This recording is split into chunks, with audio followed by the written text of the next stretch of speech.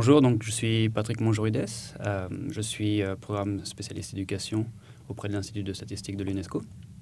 Et je me trouve à New York parce qu'on lance aujourd'hui les chiffres euh, sur le nombre d'enfants non scolarisés dans le monde à l'occasion d'un événement pendant le forum de politique de haut niveau qui a lieu cette semaine et la semaine prochaine.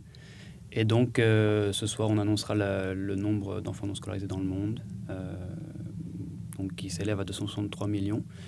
Et on discute en détail euh, les différentes caractéristiques et les, différentes, les différents obstacles qui font que les enfants ne sont pas scolarisés.